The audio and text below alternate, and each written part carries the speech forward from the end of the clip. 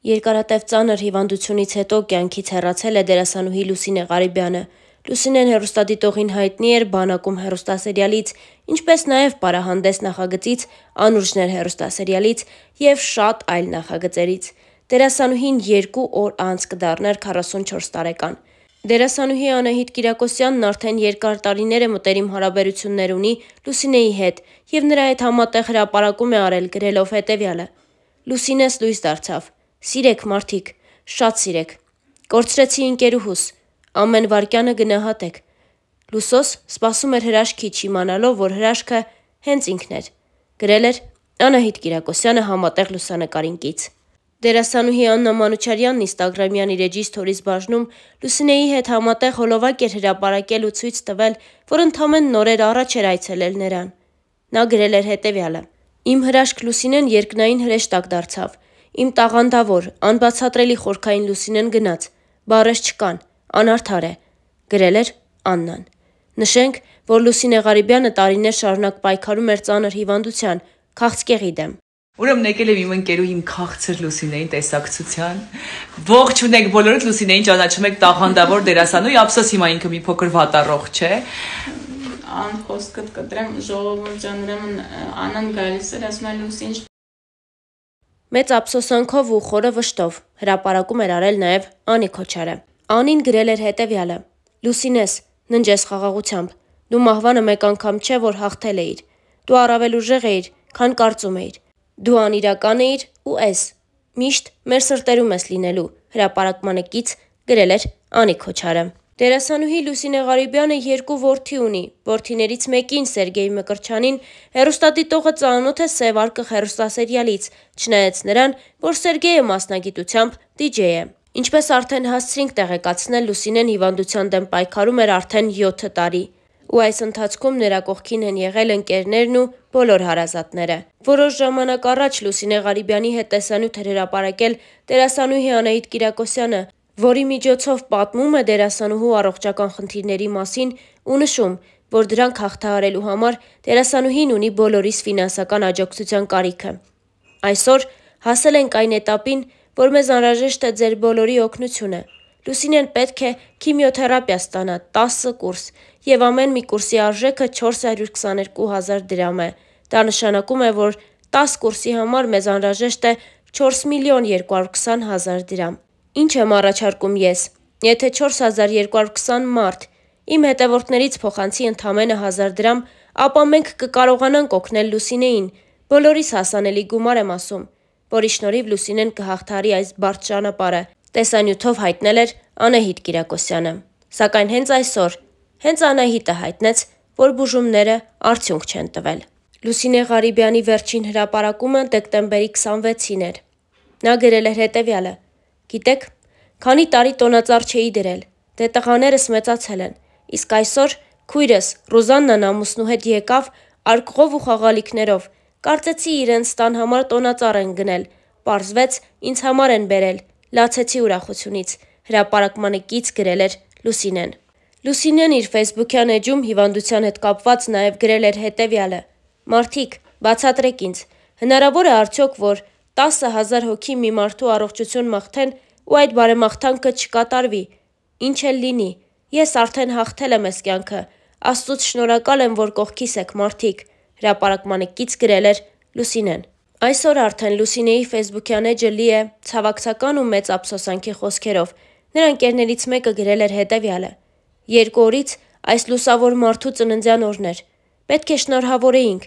Ամենալուսավոր մաղթանքներն անեինք, որ առողջանա մեր երբևէ տեսած ամենապայծառ ձերքերով հրաշքներ արարող ու ստեղծագործող մարդը, ու դրան հավատում էինք բոլորս։ Չեմ հավատում, որ այլևս մեզ հետ չէ Լուսինե Ղարիբյանի նման կերպարը, դերասանուհի, արվեստագետ, ամբողջ էությամբ, ով իր տեսակով իսկապես լույս էր փոխանցում բոլորին։ Գնաս խաղաղությամբ, մեր հրաշք, նշված էր գրառման մեջ։ Դեռ նախորդ տարի Լուսինեն մասնակցել էր մի հարցազրույցի ու պատմել իր անցած ճանապարհի ու կյանքի մասին։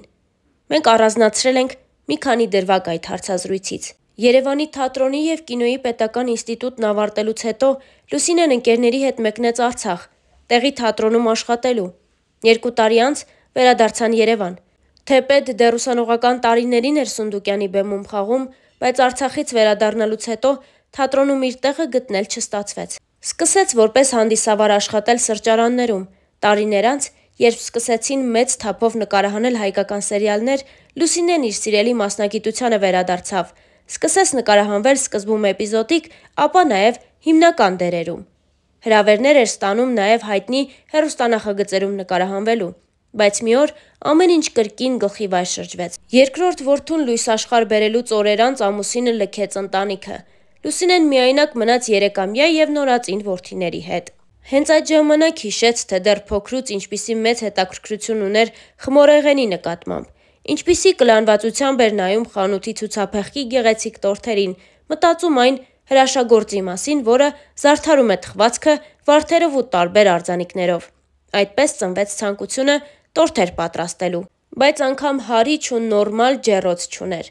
Ասում են, դու ցանկանում ես տիեզերքն իրականացնում է։ Հենց այդ ժամանակ պատահաբար ծանոթացավ Հայաստանում օտարերկրյա դիվանագետներից մեկի կնոջ հետ։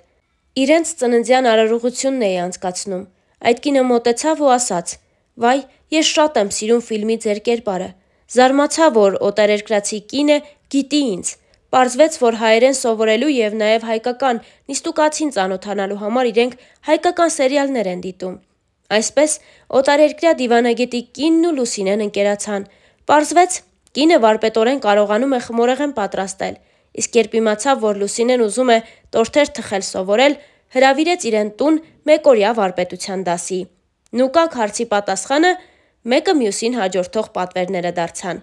Այս ամենն ինձ համար հրաշքի պես մի բան էր թվում։ Անկեղծացել էր Լուսինեն ու պատմել։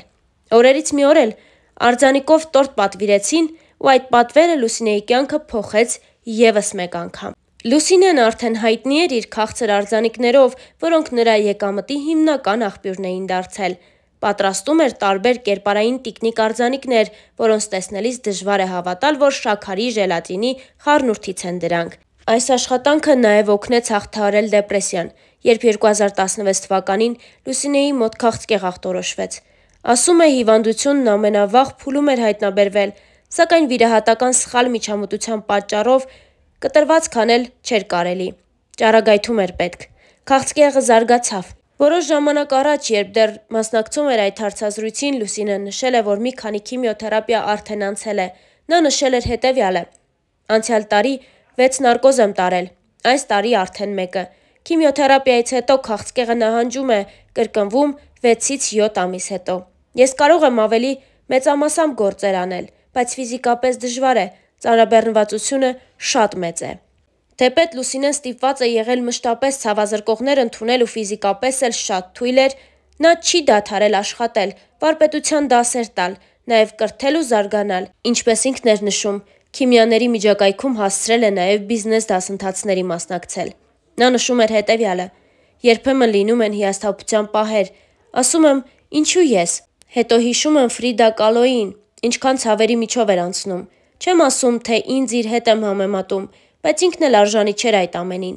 Ես ընդունել եմ այն ամենը, ինչ եղել է ինձ հետ։ Անկամ ներել եմ այն բժշկին, որի սխալի պատճառով ես անցնում եմ այս ամենի միջով, Անկամ երբ հատակը լվանում եմ, մի քիչ դժվար է ինձ համար։ Ես էլի շնորհակալություն եմ հայտնում, որ կարողանում եմ դա անել։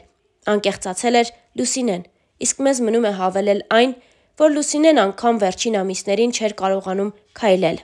Star News-ը իր ցավակցությունն է հայտնում Լուսինե Ղարիբյանի ընտանիքի անդամներին։